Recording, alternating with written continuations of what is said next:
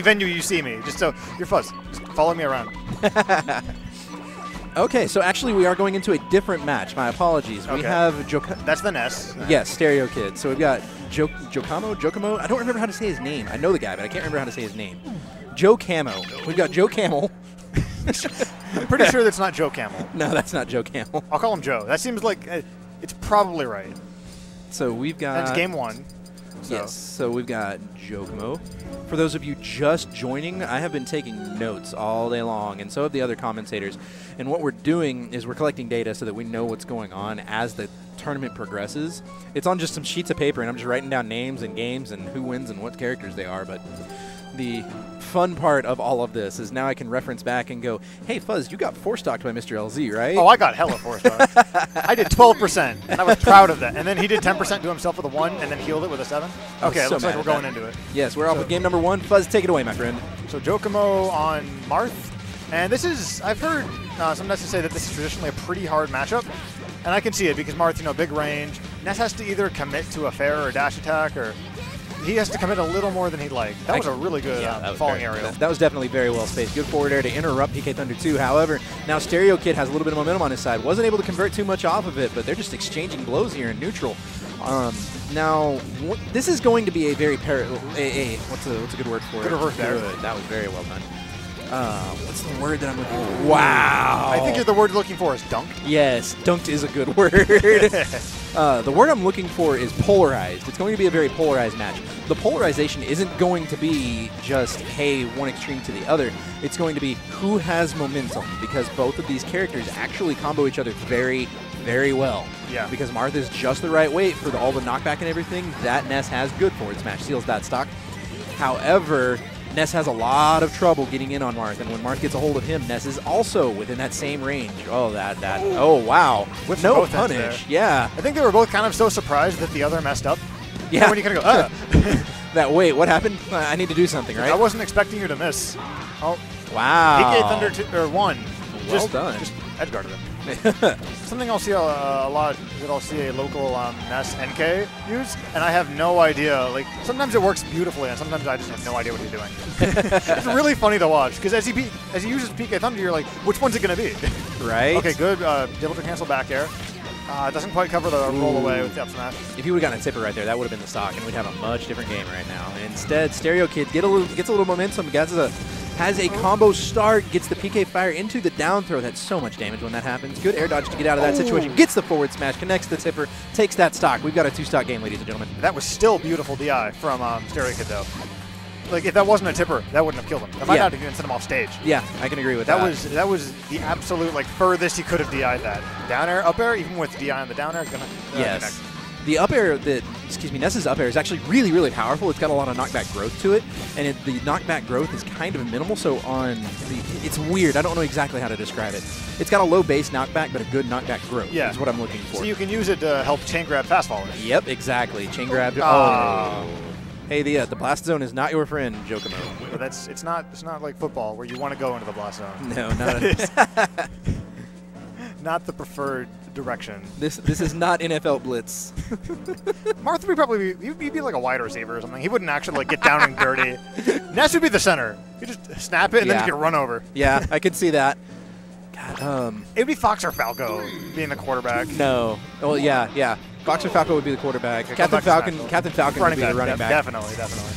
Ooh, really, really good there. Very well done. Gets the grab. Down Ooh. air. Starts a combo. Doesn't get a whole lot started off of it, though. Good back air. Sends him off stage. God, What he's just putting this pressure on him.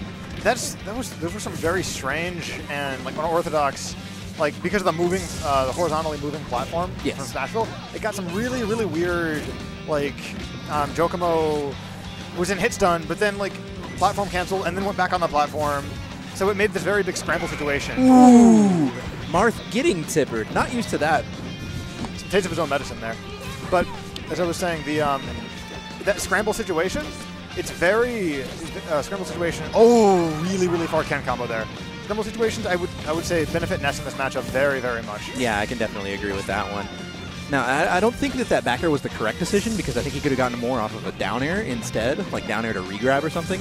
Instead, it sends Jocamo off to the side onto the stage, giving him full stage control. really, really good angle there. That is hard to hit. No way. no. Oh my god. No punish on that either. He could have dunked him. He could have forward smashed. He could have gra- he could have He, he tried to jab him. yeah. Which Actually, jab may have been the, the optimal decision right there because minimal knockback. Oh. Jumping into it is definitely not the correct decision though. I mean, I think he meant a forward air. probably. He just wasn't But even a for forward air. Ooh, really, really good back air. Yes. Triple down air, two back air. How about that third down air? You know he's thinking like, okay, okay, fine, fine, fine. like, okay, I guess I can't do much about this. the first time it's on me. Second time, it's on me. Third time, it's even more on me than it previously was. okay, good. Uh, non-tip before. It's not, oh, it didn't have a jump. Yeah, he didn't have a jump. He thought he did, and then he got caught in his PK Fire animation, so there's no way he could use a uh, PK Thunder to get back up. Don't Try to grab. for those shield grabs. oh, that was so close. The, That would have been gnarly, dude. the, the flutter like down tilts into the down air. yes. Ness's down tilt is so vicious when you hit it. It's But- even good if you miss or they shield it. Yes, because it's uh, uh, it's got such little startup and wind down lag on it. Yeah, It's a very fast move. Oh, it's the tech. He laughs about it though. Jocamo's just he says, "Yeah, we got this." Yeah, like, I mean, that's silly, but okay. Okay. Should have up tilted there, bro.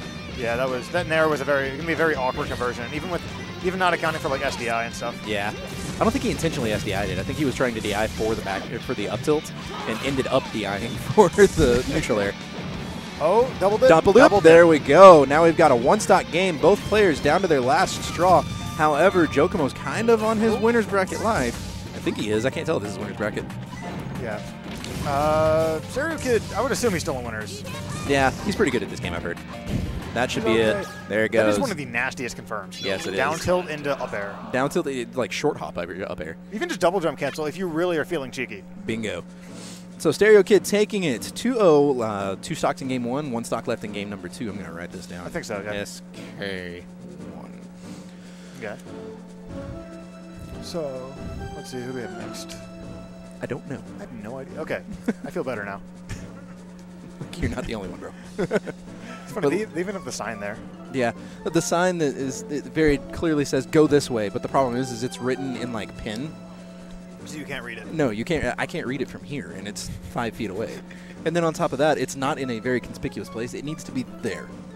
It needs to be Okay, where yeah, you turn sense. your head, Yeah, that's a fair point. and it needs to be in like Sharpie marker. And then we need to put like a neon sign behind it or something like that. Hey, We need another arrow pointing to the sign with the arrow on it that says "Go that way." Um, I think was- they would see it. So it, there's a. I got to pick on a buddy of mine that, that I work with. His name is Mike, and he's a really good guy. And he was in my wedding party, as a matter of fact. But there, I work in downtown Dallas. There is a Chipotle in downtown Dallas. It is in a building with a giant arrow that goes from the top of the building, that's like eight stories high, down to the bottom, points towards the door, and says Chipotle. okay. Uh huh. He goes by back and forth every single day in front of that thing. Did not notice it until I pointed it out. And he went, "Oh, that's a big That's where the Chipotle sign is." that says Chipotle." And I'm like, "Yeah, you, you can't miss it, but you missed it." I would say you can't miss it. You can't miss it, except that you did. Yes. So you apparently you can, and I'm I don't know how, but he's a good guy. He's uh he's actually part of the the like older school FGC around here. Like he went to a Mortal Kombat 2 tournament the other my day. lord. Yeah. Actually, he bumped into Bwet at a place called Free Play Arcade not too long ago. Not Free Play Arcade. I forget what it's called. I think it may be Free Play. Either way, it's um it's a bar slash arcade that you can go out and hang out at, and you pay entry when you get in. It's like ten bucks.